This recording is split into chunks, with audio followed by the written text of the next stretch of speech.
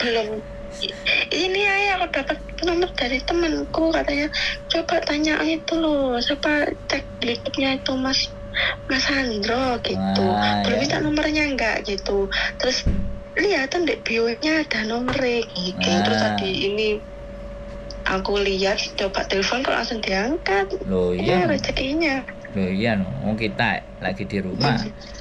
lagi slow. Jadi kayak gitu, Mbak. Ya, jadi banyak cara Iya, untuk iya. sampean bisa deket sama suami, apalagi suami sampean eh, kerja terus permanen. Jadi jangan dikira bahwa orang resmi pun kok keluarnya lama berarti support yang suaminya nggak support. Kadang anak-anak kan juga asal gak berpikir, pikirnya roba rabi roba rabi ae. Harapannya wis rabi wis iso dadi dadai. Oh, tidak seperti itu. tidak semudah itu Iya, makanya kenapa saya. Ah, ah, makanya saya bikin konten supaya mereka kalau pacaran agak sedikit cerdas. ya, so- sorry ya, sorry, sorry to say. Maksud saya kan saya memberikan sesuatu yang nilainya positif, ya kan? Bagi saya, bagi saya loh ya. Tapi bagi mereka kan bebas menilai sak senengnya hati nih. nek kayak gini kan Iya sampean bisa, heeh, sampean bisa ngobrol sama saya, sampean bisa memahami duduk persoalannya masalah sampean kan jadi ngerti, jadi paham. ngerti ada pencerahan alhamdulillah Sampean di Indo berapa? Satu setengah bulan kan? hampir dua bulanan Dua bulan, Bu ya. hampir kas hampir Kayak kamu hampir imigr- dua bulan Kata bojoku dilungkas ya telung bulan visa medun. Emang kamu imigrasi, aku ngomong kayak gitu sama bojoku. Tapi diamini aja Iya, sampean sing amini, sampean sing amini nek aku ngomong ambek bojoku emang gue imigrasi, aku bilang kayak gitu. Sam sampean amin amin sampean kan. Kalau iya kalau menurut aku ya karena sampean putih. Jadi kalau sampean putih Mm-mm. sebaik diputihkan lagi kan sebaiknya ketemunya di Makau. Bukan di Hongkong yang jadi ceritanya nih Lah kan ben sampean nggak keganggu visanya. Saya tadi kan bilang kepengaruh. oh iya sih Heeh, opsinya Iya, iya. opsinya tetap sama sampean mbak pilihannya sampean mau datang ke Hong Kong monggo bagi aku bagi aku ya eh, ya memang ini sebuah perjuangan gitu loh jadi ketika ketemu di Makau pun terus kemudian sampean pulang lagi kemudian sampean hamil kan bojo sampean bisa berjuang ke imigrasi. Istriku hamil. Bantuin aku. Bawa istriku ke sini kasih visa. Iku sing ngotot kudu suami.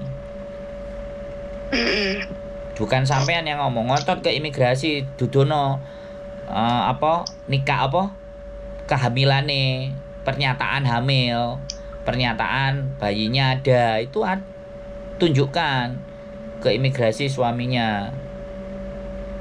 Suaminya yang ngoyo. Iya. Heeh, ya itu kembali lagi sekali lagi ya. Pilihan ada dalam diri sampean. Mana yang menurut sampean baik? Saya tidak bisa menentukan ya. Saya juga tidak memberikan tapi saran terbaik saya bersabar. Saran terbaik saya bersabar karena sampean sudah diputihkan. Nah tinggal perjuangan suami sampean untuk mendapatkan sampean iya paham paham paham Nah, itu kan jelas teruji. Ya kan? Nah, lagian kecantol dia. Dia mau nikah lagi dia harus cerai. Lah, cerai sampean posisi di Indonesia. Wis serba ruwet itu suami sampean. Kecantol. Sampean cantolnya wis kuat. Makanya supaya supaya luwih kuat nih muncul bibi. Mm, Oh, cantolane iya, luwih kuat betul. meneh iku, Mbak. iya wis Bismillah wis mas moga-moga dikasih rezeki Nah, wis bebas lo ya, bebas. Saya tidak memberikan batasan, sampean sendiri yang menentukan, tapi pertimbangan iya gitu. Siap. Nah, udah paham wis aku mas Siap, oke. Makasih J. itu aja wis mas ya Ya, sehat Makasih selalu, sehat selalu. waktunya. J, sehat selalu buat sampean, Mbak. Sama-sama. Yuk. Bye bye. Waalaikum. Waalaikumsalam warahmatullahi wabarakatuh. Oke, guys. Ceritanya luar biasa. Calon dadai paper pulang Indonesia. Ya, sekali lagi mudah-mudahan Mbaknya setelah diputihkan insyaf dan visanya segera turun jari bojoku satu bulan lagi tiga bulan turun kita aminkan dan nanti bisa kita ketemu di Hongkong ngopi-ngopi. Untuk di video keep stay tune my YouTube channel and see you next video. Bye bye